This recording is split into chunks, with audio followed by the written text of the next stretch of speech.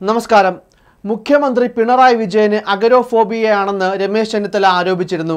ജനങ്ങളുടെ സഞ്ചാര സ്വാതന്ത്ര്യത്തിനും സ്വൈര ജീവിതത്തിനും ഭീഷണിയും ശല്യവുമായി മാറുകയാണ് മുഖ്യമന്ത്രിയെന്നും അദ്ദേഹം കുറ്റപ്പെടുത്തിയിരുന്നു. എന്നാൽ എന്താണ് അഗരോഫോബിയ? എന്താണ് ഈ രോഗാവസ്ഥയുടെ ലക്ഷണങ്ങൾ എന്നൊക്കെയാണ് വിശദമാക്കുന്നത്. ഒട്ടുമിക്ക ആളുകൾക്കും ഒരു തരത്തിൽ അല്ലെങ്കിൽ മറ്റൊരു തരത്തിലുള്ള ഭയമുണ്ടാകും. അഗരോഫോബിയ എന്നത് ഒരുതരം ഉത്കണ്ഠ രോഗമാണ്. ഒരു വ്യക്തിക്ക് ബുദ്ധിമുട്ട് തോന്നുന്ന അവസ്ഥയിൽ അല്ലെങ്കിൽ ലജ്ജാകരമായ അവസ്ഥയിൽ അതിൽ നിന്ന് രക്ഷപ്പെടാൻ കഴിയാതെ വരുമോ എന്ന തോന്നലിൽ നിന്നുണ്ടാകുന്ന ഭയത്തെ അഗരോഫോബിയ എന്ന് പറയുന്നു. ഒഴിവാക്കാനാവാത്ത സ്ഥലത്തോ സാഹചര്യത്തിലോ കുടുങ്ങുമെന്ന ഭയം ഇവരിൽ ഉണ്ടാകും തൽഫലമായി ഫോബിക്കായ വ്യക്തി അത്തരം സാഹചര്യങ്ങൾ ഒഴിവാക്കാൻ തുടങ്ങും. ചില സന്ദർഭങ്ങളിൽ ഈ ഭയം വളരെ സങ്കീർണവും അതിഭയങ്കരവുമാകും.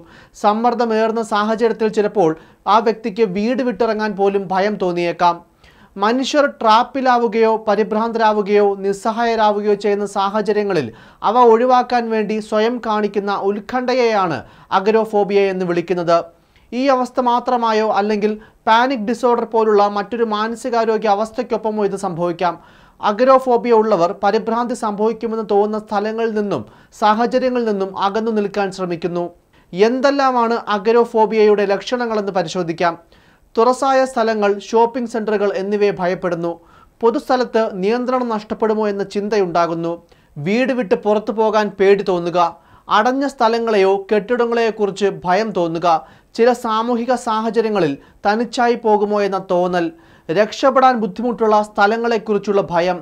പാനിക് അറ്റാക്കുകൾ പലപ്പോഴും അഗരോഫോബിയ തുടങ്ങുന്നതിന് മുൻപുള്ള ലക്ഷണമായി കണക്കാക്കാറുണ്ട്. ഭയപ്പെടുത്തുന്ന ഒരു സാഹചര്യം സഹിക്കാൻ ഒരു വ്യക്തി നിർബന്ധിതനാകുമ്പോൾ പരിഭ്രാന്തി അനുഭവപ്പെടാം. അങ്ങനെ ഒരു സാഹചര്യത്തിലായ വ്യക്തിയിൽ പ്രകടമാകുന്ന ലക്ഷണങ്ങൾ എന്താണെന്ന് ഇനി പരിശോധിക്കാം.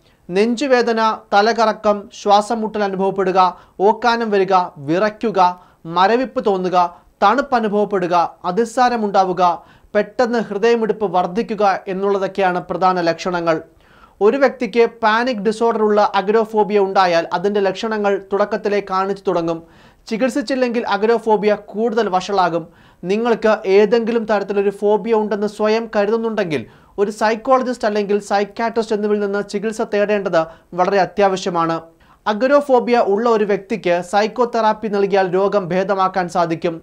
സൈക്കോതെറാപ്പിയുടെ നിരവധി രീതികളുണ്ട്. Cognitive behavioural therapy behavioural therapy hypnosis gestalt psychology relaxation ടെക്നിക്കുകൾ സിസ്റ്റമാറ്റിക് ഡീസെൻസിറ്റൈസേഷൻ ഓട്ടോ ട്രെയിനിങ് തെറാപ്പിയുടെ പ്രധാന ലക്ഷ്യം ഒരു ഫോബിക് സാഹചര്യത്തെ അഭിമുഖീകരിക്കാനുള്ള വ്യക്തിയുടെ കഴിവ് വികസിപ്പിക്കുകയും അതിൽ ആത്മനിയന്ത്രണം നഷ്ടപ്പെടാതെ നിലനിർത്തുകയും ചെയ്യുക എന്നുള്ളതാണ്. പാനിക് ഡിസോർഡറിൽ ഉള്ള അഗ്രോഫോബിയ സൈക്കോ ഡൈനാമിക് ചികിത്സയുമായി എക്സ്പോഷർ തെറാപ്പി സംയോജിപ്പിക്കുന്നത് പ്രയോജനകരമാണെന്ന് ചില ഗവേഷകർ കണ്ടെത്തിയിട്ടുണ്ട്.